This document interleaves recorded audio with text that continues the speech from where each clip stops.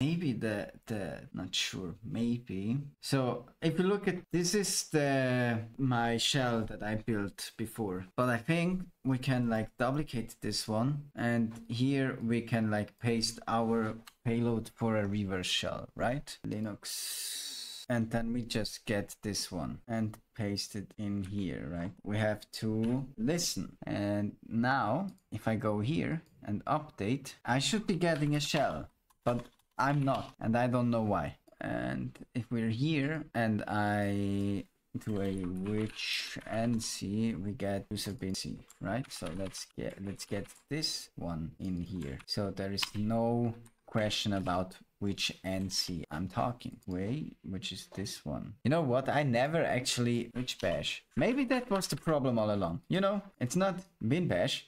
It's user bin bash. I mean, maybe that really was the problem all along. But it doesn't look like it. Okay, maybe that was the issue. It maybe it didn't even save. I mean, maybe it has something to do with the duplicator plugin that we have here, you know? Okay, but, but, but, but, what, what, what, what, what, what, what? Maybe something interesting is in the snapshots. Maybe the database is important. So let's just get the test SQL. Now this is a pain in the ass to do like this. Maybe we can find an easier way. And you know what? What was it called? ls? No, not home. Just ls. And there we have what is called a directory listing. So let's just test SQL, copy it over there. And now we can take a look at it. Where is it?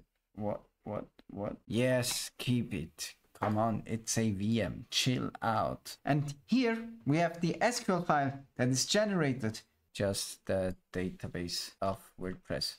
So let's and do an all databases and then let's look if it worked cat test okay it's empty didn't work i mean we would need a way to kind of escape the wordpress world that we're in which we more or less have here. We can execute commands, but sadly, we're all out of time for today, which means we will see us next time, whenever that may be.